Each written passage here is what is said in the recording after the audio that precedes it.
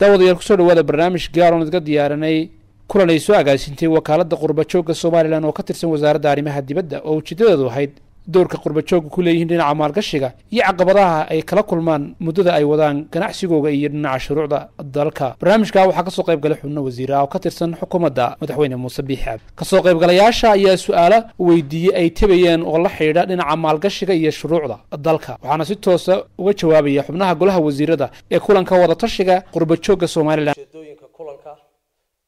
shirkani waxa uu ka mid yahay howlaha hay'adda qurbajoogga u qorshaysnaa sanadkan la xidhiidhsan qorshaha horumarinta.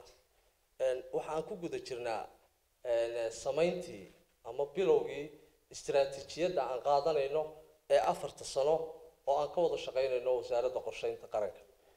Kulamo kala duwan oo gaar ahaan xagga maalgashiga khuseeya oo wadatashiyo u badan. Sidoo kale dhiirigelinaya doorka maalgashiga qurbajoogga somalilan ee dalka ayaa qorshaha noogu jira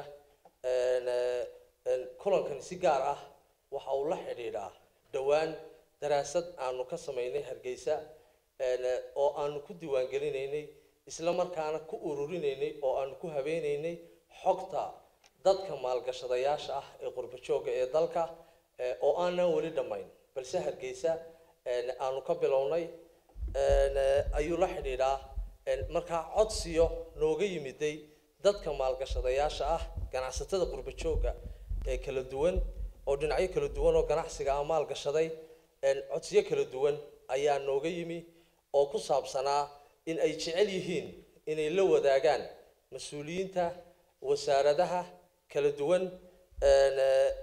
ee ay khusayso in ay wax ka qaban karaan. Cabashooyinka iyo afkaarta ay qabaan ay u arkaan in ay soo bandhigaan oo lala ogaado si go'aano looga qaato. Waxaanu ku marti qaadnay markaas mas'uuliyiin kala duwan hase yeeshee kolley waxaan filayaa waxaa jiray maanta munaasabad kale oo iyaduna qaran oo ku soo beegantay. Laakiin shirkeennu wuu inoo soconayaa. Waynu soo bandhigaynaa. Wixii aynu ka hadli doono barnaamijka waa laydin qaybin doonaa isagoo qoran dhowrka saacadood ee maanta. Waxaan filayaa in ay ka soo qayb galeen maalgashadayaal kala duwan oo xagga ganacsiga guud xagga dalxiiska iyo soo dhaweynta tourismka iyo hospitalityga xagga caafimaadka shirkado kale oo iyaguna adeegyada tour operatorska shirkado badan baa nagala soo qayb galay.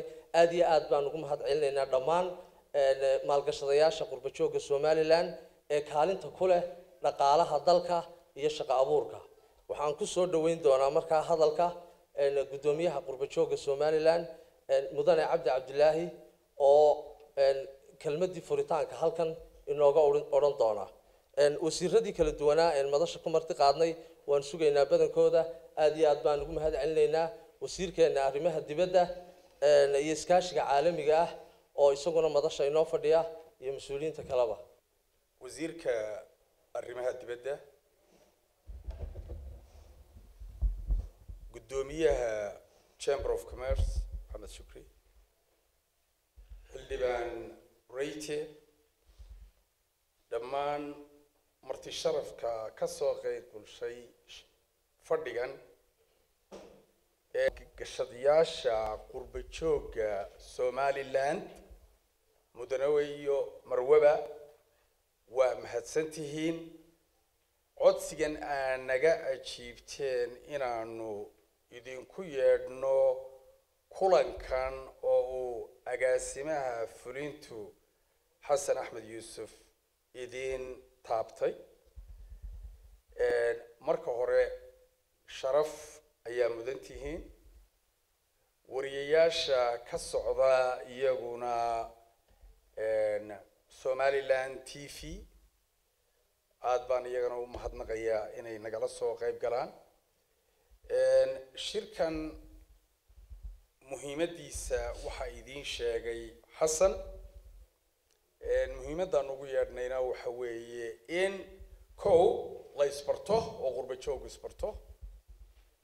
Maalgashiga dalka ku sameeyey iyo iyo aqoonta ay dibadda ka soo safriyeenba.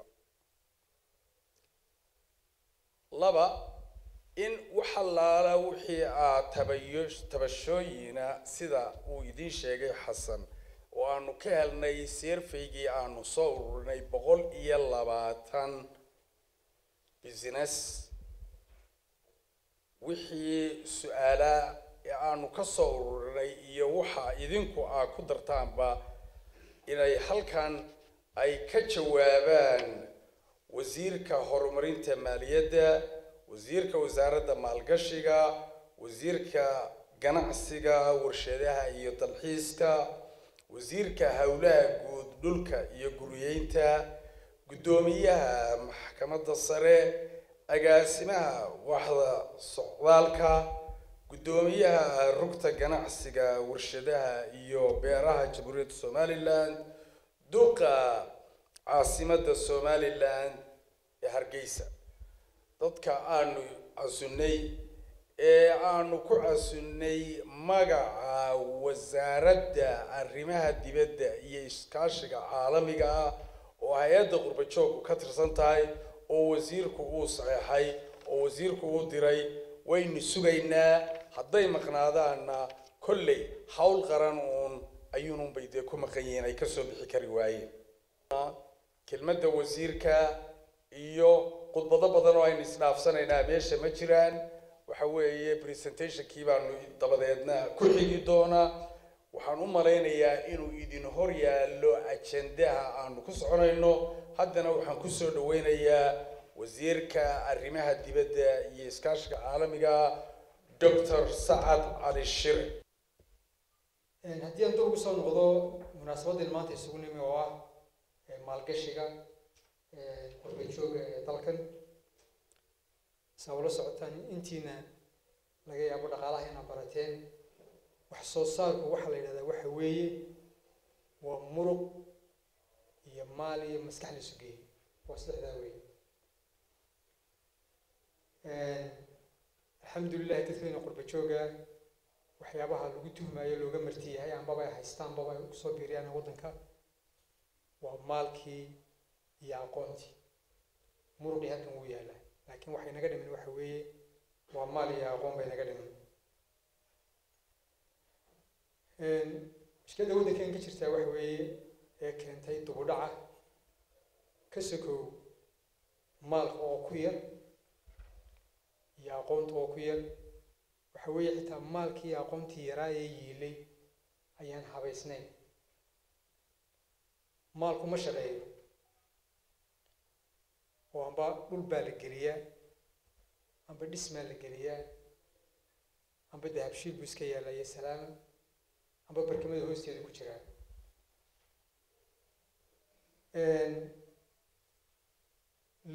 suuqa shaqaalaha laftigiisu waxaad mooddaa inaanu shaqaynin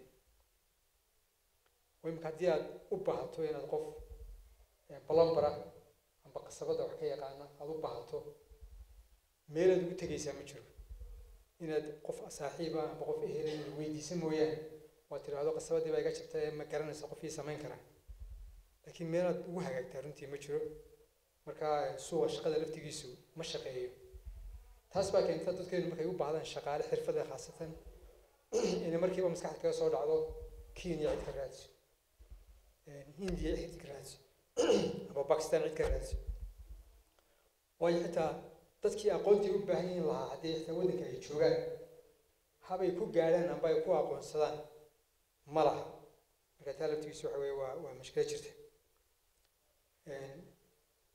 xagga suuqa lacagta laftigiisa saa ka wareysaan baanan ma lihin ee sideynuu naqiinay baanankii suurto gelin jiray qofka maalkalna inuu maalkiisa u dhigto qofka ra'yiga haystaana inuu yimaado oo lacagtii baanku ayay ka amaahdo dabeedna ku shaqeeyo halkan haddaad damacdo inaad lacag aad amaahato waxaad kala kulmaysaa. Runtii dhibaato aad iyo aad u fara badan baad kala kulmaysaa. Wax lagu keen damaanad keen debaaji keen. Hataa iyadoo guriga laga hayo ayaa haddana kugu adkaanaysaa sidii lacag aad u heli lahayd. Haddaan qof kale aanu ku damiinan baananka qaarkoodna waaba inaad xubin ka ahaato qof xubin ka ah amba saami kuli waa inuu ku damiinto marka taa laftigeeda runtii wax weye waa mashkilad jirta oo waddanka ka jirta mushkilada kaliyana jirtaa waxa weeye caalamada saa ka wareysan muruqa iyo maalka iyo maskaxdaba waa laysu geeyaa. Marka laysu geeya bay wax taraan. Oo inta badan dee waa shirkado ayaa la samaystaa. Halkan shirkada ma lehe qof waliba keliya buu cararayaa waa laga yaabaa inta ugu badan labiyo saddex isku darsaan mararka qaarkood. Laakiin waa qof baa layahay taa laftigeedu waxa weeye waa mashkilad. Idinkana laga yaaba inaad la kulanteen intiina jeclaaba laga yaabo inay maalkooda meel gashadaan ay kaga tagaan ay ku ogaadaan dabeedna in iska xoogsi tagaanbaba haddaad waddankan lacag yar la timaado cidaad ka waaminto waad kaga tegeysaa runtii ma jirto waa nidaamkii baa runtii maqan iyadoo dhibaatooyinkaas iska jiraan ay fara badan yihiin haddana waddanku fursado badan buu leeyahay fursaduhu dee waxa u timaadeen taa idinka sheekeyn maayo laakiin haddaan wax yar ka yara taataabto fursadaha jira xagga beeraha imka ninka beeraheenu inta badan waxa weeye waa beero dadku ay u fashaan siday ugala soo baxaan waxay quutaan oo keliya labadii kun iyo labayo tobankii markii world bank uu sameeyey uu estimation ku sameeyey ama qiyaasta ku sameeyey wax soo saarkeena guud ama g d p geena waxaa ka soo baxday beerahoo kale inay boqolkiiba toddoba keliya uu contributionkoodu yahay mana ahayn runtiina intaa ahaato waayo dalkeena waad odhan kartaa ilaa boqolkiiba saddex ilaa boqolkiiba afar ayaa si fiican wax looga beeri karaa oo beera noqon kara taamicneedu waxa weeye waa ilaa saddex boqol ilaa afar boqol oo kun oo hektar baa laga yaabaa inaynu beeri karno waxay noo beeran waa wax yar weeye. Laga yaaba inaana konton kun oo hektar baba aanay dhammayn oo ay dad beeralaya oo yaryari ay leeyihiin. Haddii maxaan dhahdaa si commercial loo maalgashado dhinaca beeraha anigu waxaan qabaa runtii wax badan in laga samayn karo. Weliba lacag badan ay ka soo bixi karto ka badanta ka soo bixi karta. Dukaanka ku salaysan isagoo ganacsiga ah soo iibi sii iibi xagga xoolaha waa sidaas oo kale. Xooluhu dhaqaalaheenu xooluhu ku salaysan laakiin habka aynu dhaqno. Hab maaha runtii la jaan qaadaya xilligan casriga ah. Ambaba runtii la jaan qaadayba biyaadan isbedeshay iyo cimiladan isbedeshay. Soddon sano o afartan sano ka bacdi wanka madaxa madow waxaynu ugu tegayna aan malinaya museum. Waayo deegaankii uu ku noolaa runtii uu baaba'aya imika sida uu yahay. Haddayna wax ka bedelanayno xoolaha aynu dhaqan marka laftigeeda fursad baa ka jirta caalamka uu dadkiisu way badnaanayaan. Inta inta ladanina way badnaanaysaa. Dadku marka ladnaana hilibka ay aad bay u cunaan. Marka suuq baa jira hilib caalamka oo dhan runtii uu koraya xataa waddankeena laftigiisa. Imika dee hilibkeenu ku cunaa aad buu uga badan yahay hilibkeenu cuni jiray toban sano amba labaatan sano ka hor oo ah hilibeynu dhoofin jiray. Imika halkan ku cunaaba hilibka. Marka xagga xoolaha laftigooda fursado badan baa ka jira. Suuqa dibadda iyo suuqa gudahaba kalluunka waa saas oo kale ilaa laba boqol oo kun oo tan baa lagu qiyaasay stokgeena weliba weyntaan guurguuri maan malanaya marka lagu daro ka guurguura ay noo yimaado khaasatan xilliga jiilaalkii kalluunkeenu aad buu u badan yahay laakiin kama faa'iidaysano qurbajoog badan oo kusoo talagalay oo soo xidhxidhay oo halkan business ka bilaabay oo muddo ka bacday intay laalaabeen iska noqday waan filaya inaanay dib usoo noqonaynin waxaa markaa iyaga waxaan odhan lahaa waxaa ku soo tala gashaan dal burburay oo maxaanku dhahdaa u baahan dibudhis. Dibudhiskana xooggii dibudhiskaa ka qaybgeli lahaa. Ma aha inaad nolol yaroo qabow oo halkan ka samaysataan oo qura inaad ku soo tala gashaan. Iyo ganacsi halkan ka bilowdaan inaad ku soo tala gashaan.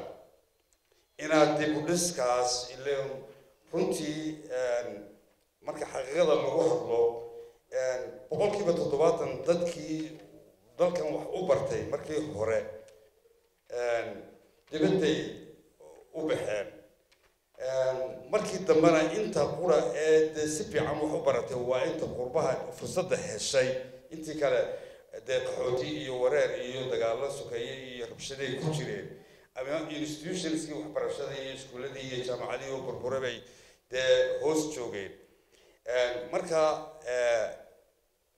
inkastoo aad ganacsi u socoto inkastoo aad u socoto qorshe private oo ah inaad degto oo dalkaagii ku nasato oo nolol cusub ka bilowdo haddana ogow oo ku soo talagal in hawl noocaasi ay ku sugayso ma aha inaad ku niyad jabtaan maxaan ku dhahdaa carqaladaha ama mashaakilka idinla kulma maxaa dowlad uga qorshaysan inay la shaqeeyaan diasporada skills bay diaspora waxaa jira diaspora waxaa ka buuxa. Dad connections adduunka ku leh. Mutacalimiin dalka mashaariic keeni kara. Waxa loo baahan yahay aan dhamaysto waxa loo baahan yahay. In ay dowladdu facilitate garayso qurba joogta maha wasiirado qurata qurbaha ka yimid. Dadka skills kale dalka jooga ee lacagta haysta. In la facilitate gareeyo la soo dhaweeyo dhul loo facilitate gareeyo xafiisyada dowladda markay tagaan loo facilitate gareeyo mashaariicda ay wataan oo dadka lacagtii bay dalkay sidaan xuquuq bay leeyihiin. Le- le dowladda policy u yaalla muxuu yahay ee arrimaha ku aadan aan soo sheegay. Wuxuu gaaray markii dambe in uu program gaara u sameeyo. Marka hay'adda qurbajoogoo kale inay bal wax ka soo barato dhaqaalaha etoobiya dadka kor u qaaday waa dadka qurbajooga waxay u fureen baanankii baa loo furay. Waxaa loo furay inay accesskii kala galaan. Think shan shan qodob unbaa laga reebay bal malayaan inagu taana inaan ku jirin siyaasadda ma geli karaan card gaaraa loo sameeyo la yidhaahdo yellow card. Ah waad ka warhaysa marka inaynu waddamada jaarka ruwaandho kor waxa u qaaday waa dadkeeda dibadda ka yimid inaynu ka baranno oo aynaan laakiin dadka iska takoorine ile somalilander baatay somalilander rightskeedii berigii hore etoobiya foreign bay u eegi jirtay qofka som- ajanabiya leh laakiin dalka u dhashay way ka baxdo waxay siiyeen kaarkaasay siiyeen shantaa sannadood baa shantaa shay baa la yidhaha gelina marka si aynu n d b ga u gaadhno labada doodeenu ha noqoto oo aynu sidaynu samaynaa waxaan anigu soo jeedin lahaa haddii wasiirka arrimaha dibadda wasiirkii maalgashiga iyo ganacsigaba way fadhiyeen warshadaha. In dowladdu ay samayso sanduuq maalgashiga dhiirigeliya maybe ku bilowdo 10 million 15 million oo dadkii imanaya si ay matching ugu sameeyaan. Ethiopia ay ku aadan tahay arrintaydu su'aashu dr sacad iyo iyo our guest from ethiopia. Waxa kaliya aynu haysano aynu ethiopia u dhoofin karaa waa fish salt. Labadaba waan galay. Labadaba carqaladaan kala kulmay inaan ethiopia geeyo. Carqaladaha ugu horeeyana waxa weeyaan it's not easy inaad ethiopia wax geliso but it is easy inaad wax ka soo qaadato. Tradekuna waxa weeye wow balance waa give and take adduunyadu she waxaan ahay dhakhtar soomaaliya oo ka yimi maraykan cisbitaal baanu ka furay magaalada. Ee, waxa ugu muhiimsanee aanu u nimi ee u soo laabanina waxa weeye service aan waddanka ka jirin inaanu introduce garayno laga bilaabo ee, bisha may haddii ilaahay idmo waxaanu rabnaa dadkii jilbaha loo bedeli jiray ee miskaha loo bedeli jiray inaynu halkan ugu bedelno laba arrimood baan doonayay inaan wasiirada aan kala hadlo mid waxa weeye iyo hay-addaba dadka soo laabanaya ee waddanka imaanaya waxay u baahan yihiin website informationka oo dhammi ku qoran yahay ama sharci ha noqoto ama malgash ha noqoto ama tax ha noqoto ay dheehdaan oo akhristaan oo iyagoo wax kala garanaya ay dalka yimaadaan taas waa mid midna waa fariin idinka iyo barlamaankiinaba ku socota sharci baan isidhi samayso somalilandna markaan tegey dowladdii hoose baa laygu yidhi qolamaa tahay. I was shocked. Oo ayaad ka sii tahay. War waxani waxaan carruurtaydaba maan barine. Dee naga daaya wax. Marka waa intaana fikrika la keenaa kale. Qofka dibadda ka yimi ee baasaboorka sita ee la yaqaano ee classmateskiisii ay nool yihiin in la yidhaaho iyagaba ka soo samee affidavit oo caaqil jooga buuhoodle aan aniga laygu yeedhin. Taasina waa fariin. Qorba joogta way dhibaysaa waan ogahay markay meelaha tagaan oo qabiilkooda la weydiiyo. Bahashaynu rabnay inaynu baabi'ino haddaynu ka dhiganno ay inoo gasho sharcigii. It's a big issue waa national debate loo baahan yahay inaad gaadhisaan dowladda. Waxaan ahay ah, warshad. Waxaan samaynay saliidda marka waxaan ha warshad saliidda soo saarta. Marka food scientist baan ahay. Cawadina ma muddo afar sana wada shaqaynaynay. Hadda waxaan doonaya inaan kabolteriga insha allah hadduu ilaahay do julaay annagaa ku supply garan doona waa iminka geeleeda ayaanu ka iibinaa calafka. Oo ilama waxaanu soo saarnaa capacity ugu yari laakiin in muxuu ahaa bolteriga julaay baan ugu talagalno. Iyada bolteriga waxaa loo baahan yahay macsaradan siidna kee ka soo saarnaa.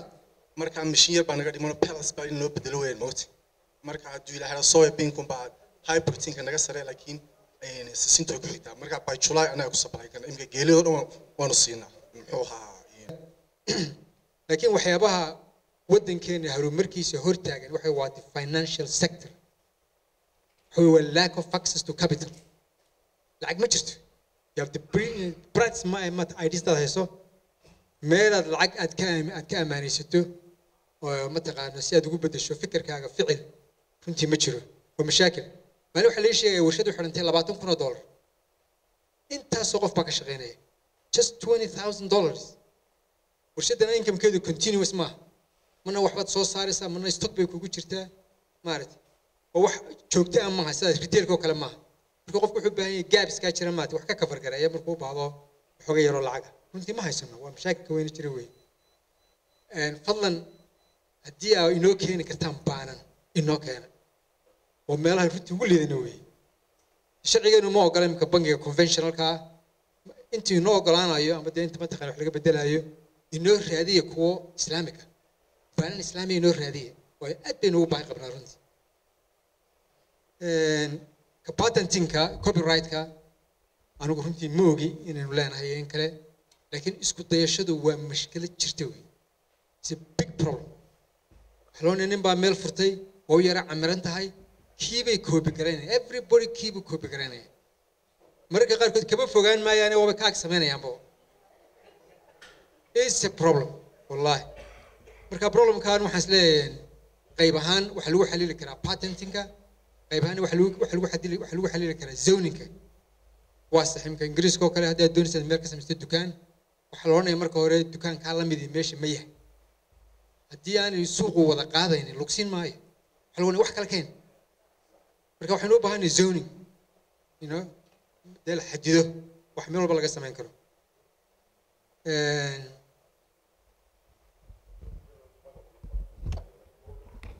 Ah, project, okay. And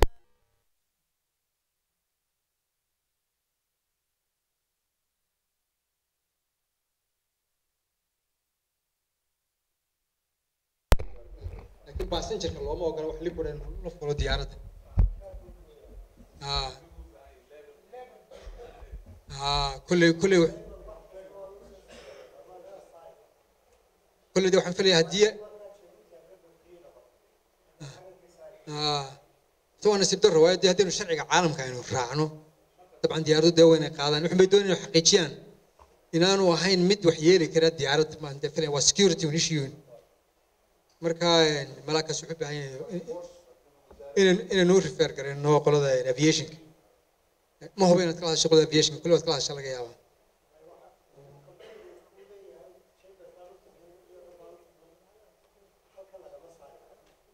marka ayaa ku diidaya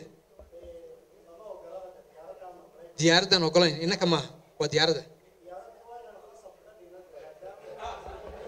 ah. Ah okay.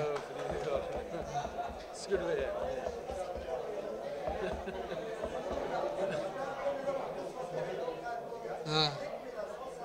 Ah keenaysa waddanka markaad diraysaan lagu ogoleen ah ah ah baad diidaysa ah mashkiladu waxa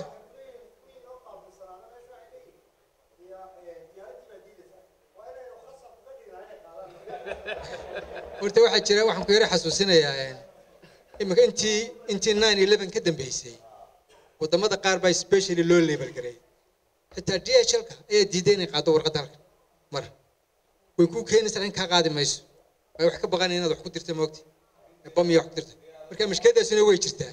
Waa laga yaabaa marka inuu baan gaari inakayna saarayn laakiin waxaan u refer garanayaa mashkiladaada wasiirka wasiirka ganacsiga siduu raadiyo si lagu caawin lahaa.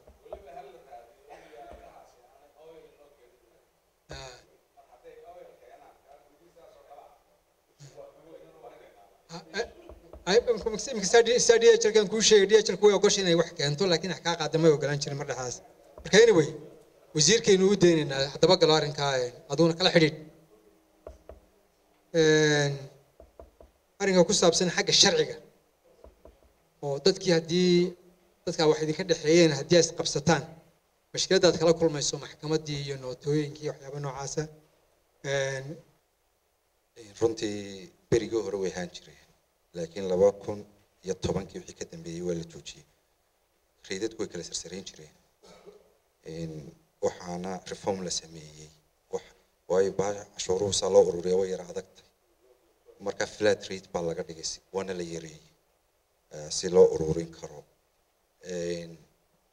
Cashuuraha markay timaado waxaynu nahay adduunka meelaha ugu cashuuraha yar leh. Marka qolooyinka world bank iyo imf d ay diraasad ku sameynayaan ay noo yimaadaan. Mid walba wuxuu idhaahdaa al shaqo tagaa somaliland waayo cashuurteena dadka shaqeeya laga qaado ama beeyiida la idhaahdo innaga waa boqolkiiba shan oo mid lagu daray. Adduunka kale waad garanaysaano boqolkiiba soddon iyo afartan iyo saa loo kala sarreeyo weyta maadaama aynaan wax ku celin karaynin qofkii somalilanderka ahaa imika ayaynu garanay bal in wax yar oo inkamkiisii ka mid a laga qaado. Marka taasaa inagu kaliftay eh, inay yaraato cashuurteennu. Cashuurta kale ee la idhaahdo macaash macaashka ama cashuurta faa'iidada ama profit income taxka. Berigii hore waxay ahaan jirtay boqolkiiba lix iyo labaatan laakiin imika waxay tahay boqolkiiba toban. Adduunka kale corporationkii waxaa laga qaada waa dareemi karaysaa inay yihiin afartan iyo wixii ka sarreeyay soddon iyo.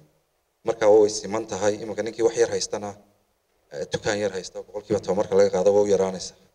Qaarkoodna waxaa laga yaabaa xisaab xidhka ay ku soo gudbiyaan inay noqoto boqolki inay milyan iyo wax ka badan noqoto shirkadaha waaweyn. Runtii taasaasaan kaga baxayaa Een, ta labaad ee ah maxaa jira cashuur dhaafyo maxaa jira incentives diasporaha maalgashiga sameeya la siiyo? Runtii caashaa ka jawaabtay oo cashuuro laba u kala qaybsamaano oo wixii furdadaha inooga imanaya kastamada xudu- xuduudaha inooga imanaya eraboodada iyo dekadaha iyo iyo meelaha inooga imanaya kuwa diaspora horta markay soo guurayaan alaabtooda oo dhan cashuur dhaaf baan ku siinaa. Laga reebo baabuurka. Baabuurkana waxaa looga reebay. Baabuurta in la soo wada degnaa waa wada second hand. Marka nin kastoo qurba joogo inoo imanaya ninkii dubay baabuur second hand ka soo iibsanaya dee gacantu musoo qaban laha odhan lahaa waa soo guriga noqday. Ee baabuurka igu dara. Marka xeerkeena kastamadu baabuurka marka laga reebo mooyaane wixii kale oo alaab looy waxay doonaan ha ahaadeen. Weliba ma soo marayo meel kale ee halka uu ka soo degay isla markaba ah, customiska managerkiisa marka uu saxeexaya taasi waa taa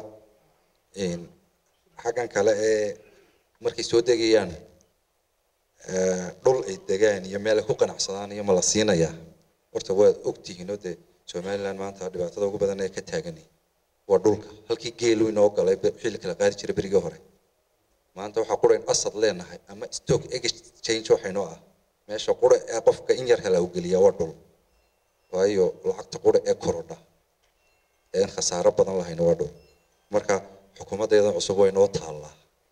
Sidaan dhulka bolosigiisa reform ugu samayn lahayn maalgashi gudaha iyo mid shisheeye toona la heli maayo haddaan dhulka dowladdu aanay gacanta ku dhigin runtii. Taasna waa inaga go-an tahay qorshaheedana waanu ku jirnaa taa waan ku dadaali doonaa insha allah su'aasha saddexaad ee aadka u adag ee ah xeerka maalgashiga shisheeye. In cashuur dhaaf badan la siinayo uu sheegaya laakiin meel kale ku qorantay maanaan arag ah, ninka ah, maalgashiga ah ee muwaadinka ah inuu tax incentive helayo. Runtii xeerkaa waxaa la ansixiyey labadii kun iyo afartii waa dhowr warqadood. Gacantaan ku haynaayo marka inaan wax ka bedelno xeerkaa oo runtii xeer wanaagsan oo dhiiri gelinaya maalgashiga muwaadinka iyo maalgashiga sheeyaba. Ayaanu ka dhigi doonaa waxaa kaloon gacanta ku haynaa inaan sameyno siyaasadii maalgashiga. Ee sheegaysay qofka muwaadinka muxuu maalgashan karaa? Ka shisheeye muxuu maalgashan karaa? Thresholdkii iminka etoobiya oo kale yaa maalgashi ah yaa maalgashade ah kuma investor ah. Waxa iyagu ku define gareeya qofkii businesskii lix qof shaqaalaysiiya waa businesska ninkaa waxaa la odhanaya waa maalgashiyada waa investor wuxuu helaya waxyaabihii investorku helayay dhiirigelinayay waxyaabahaas. Taasaynu gacanta ku haynaa diyaar baanu lanahay inaanu qoladiina qurba joogtaa talo kala yeelano. Su'aasha kale ee afraad ee halkan ku jirta banking system. Runtii waa waxyaabaha hortaagan in maalgashi fiican oo dalkeenu ka dhaco. Haddaan la helin payment system ama deyn aan la heli karayn ama meel lacagta lagu laisu weydaarsadaan la heli waa carqaladna taagan annagoo asam commercial college way haddii wax kala xadaynaya una jirin. Dee geel waxa wey geelji geelji jiidanayo baad ahaanaysa shuruuc baa binaadam ku kala baxaa. Waan dhammaynay taa taasaa kolkaa keenaysa in loo hogaansanaado xuquuqda mid kasta baa u leeyahay. Copyrightku inkastoo inagu yar yahayba wax soo sa wax waxaa lifaadeennu ay yar tahay. Haddana way ku jirtaa iminka. Laakiinse kolkii hore ma jirin. Dee nin kaste waxuu doonuu samaynayay xagga ma og tahay caqabadaha haysta dadka qurbajoogga ee aniga nafaantaydu aan la kulmay aniga nafaantaydu meesha inaan imaado uguma talagelin waxyaabahani ma og tahay waxgashada waxgashiga dhulka yaan aniga nafaantu beeraley baan ahaa waxyaaba badan oo duruufaa jira waan la socdaa iminka warshadaha waan dowladdu intii karaankeeda way samaysay laakiinse waxaad moodaa marka hore ee warshadda la samaynaya nafaanteeda in feasibility study proper loo samayn oo waxay ku fiican tahay. Dee moogtahay wax ba laga yaaba in laba qofoo moogtahay ay warshadii annagaan samaynna ay yidhahdeen ayna capacitygeediina haynin oo ay ku fiicnayd in kambani ay ahaato. Dad group yani maal fiican haysta ay ahaato.